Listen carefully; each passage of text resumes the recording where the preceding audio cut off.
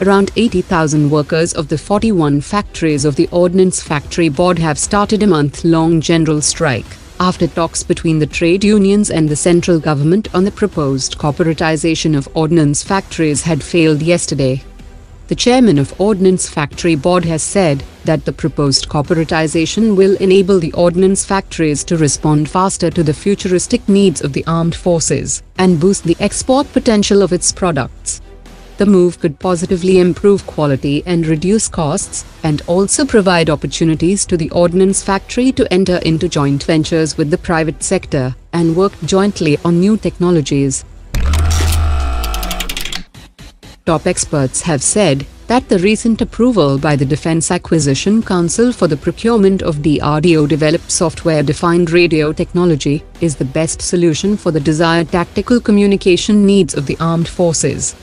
The Indian Navy will be the immediate beneficiary of this indigenous technology, as it will help to achieve faster real-time data transfer. This indigenous technology will also be available for the Indian Army and Indian Air Force, providing improved transfer of voice and video information, which will enable troops carrying handheld man-portable devices, and will also enable to operate swarm unmanned aerial vehicles. As per latest media reports, the DRDO has handed over the design of mobile metallic ramp to the Indian Army, which has a load-bearing capacity of 70 metric ton. It is portable and modular in design, which can be easily assembled or disassembled. The mobile metallic ramp will reduce the strategic mobility time for armored and mechanized units and formations of the Indian Army. In a bid to keep an eye on Chinese movement in the Indo-Pacific region, India and France are ready to sign a pact on maritime surveillance during the upcoming visit of Prime Minister Modi to France.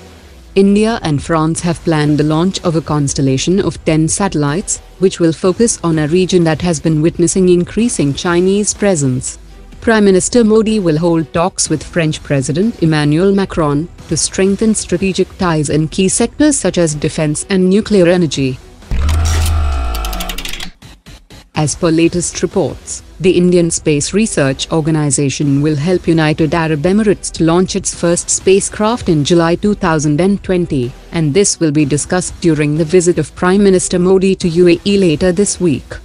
the UAE Space Agency and the ISRO have set up a joint working group regarding this mission, and the probe will be launched with the help of Indian Space Agency, which is scheduled to reach Mars orbit in the first quarter of 2021, to collect over 1000 GB of new data on the Red Planet.